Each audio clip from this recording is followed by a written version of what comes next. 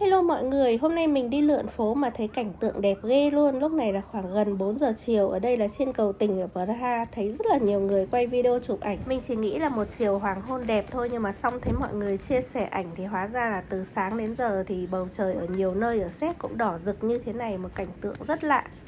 Xong rồi lại gặp ông già đi thắp đèn trên cầu. Thế là mọi người đi theo xem luôn, vui thật.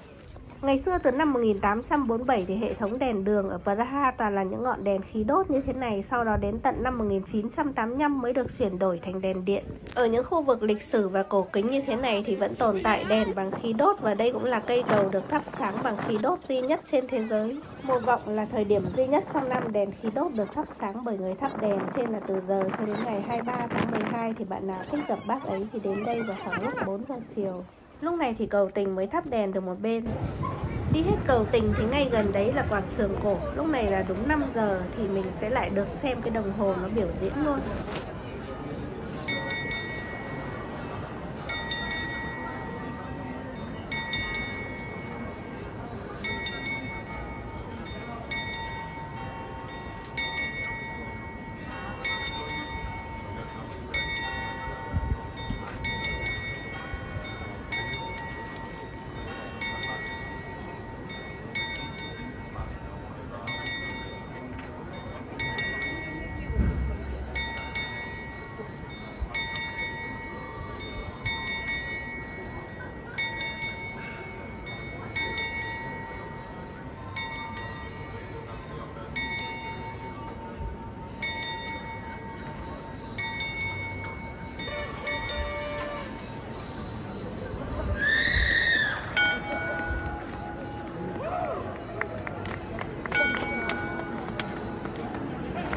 Quảng trường này thì tên của nó là quảng trường cổ. Thế nhưng mà bởi vì là nó có cái đồng hồ con gà Trên là người Việt mình quen gọi là quảng trường con gà. Chợ Noel ở đây cũng là chợ Noel lớn nhất và đông vui nhất ở Séc. Cây thông năm nay cao 27m và là cây thông thật đấy các bạn ạ.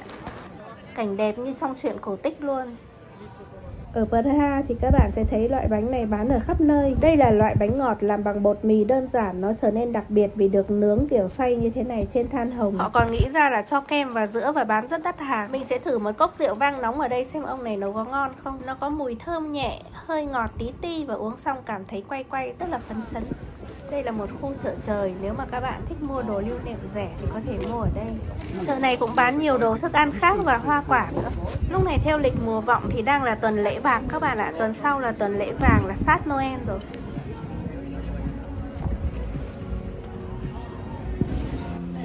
Đây là một cửa hàng kẹo bán rất là nhiều loại kẹo Nếu mà trẻ con vào đây thì không muốn ra nữa.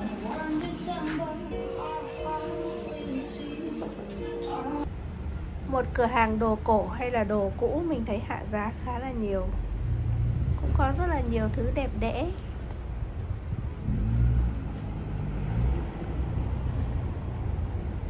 Mình thích cái lọ hoa này trông nó ngộ ngộ 3.000 cu thì tức là khoảng độ 3 triệu Việt Nam đồng á.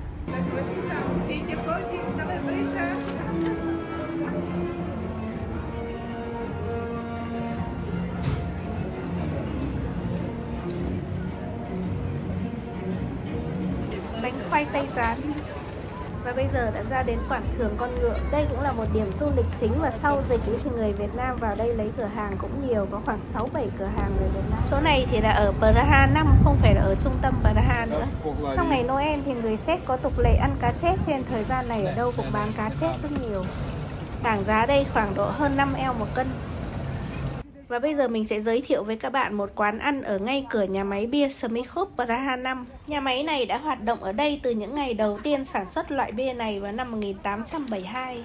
Ở đây thì nhà máy sản xuất bia trên là uống bia hơi tươi mới thì đã đành, nhưng mà còn có một cái loại bia rất đặc biệt, tức là bia không qua phin lọc, uống rất ngọt. Món ăn chỉ có một số món truyền thống thôi và không có nhiều món lắm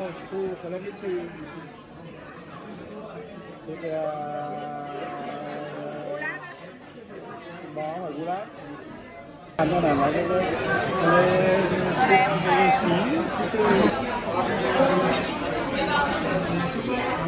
Bọt rất là mịn nhá.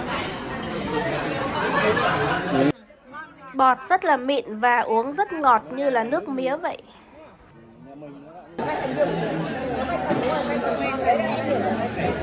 Trên tay cửa bên ngoài thì nó cửa nó không đề cái gì hết đề toilet không đề hình nam hình nữa nó tập trung nhất trong tất cả các loại nhà máy này là tay sần như nhà máy nào cũng có. Nó không phải là tay sần.